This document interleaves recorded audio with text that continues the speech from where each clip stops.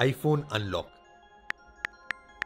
आप अपनी आवाज़ से आईफोन को अनलॉक कर सकते हो। पासकोड की जगह पे मार्कर लगाओ। सेटिंग में एक्सेसिबिलिटी पे वॉइस कंट्रोल ऑन कर दो और कस्टमाइज कमांड पे क्लिक करोगे तो एक मैजिक वर्ड बोलने का आपको ऑप्शन आ जाएगा। उसमें क्लिक करना है और एक्शन रन करना है। एक्शन में जहाँ जहाँ मार्कर लगा अपना पासपोर्ट पास करो और स्टॉप कर दो और सेव कर दो इसको। उसके बाद एक बार जैसे आपने अपने अक्षर बोले आईफोन अनलॉक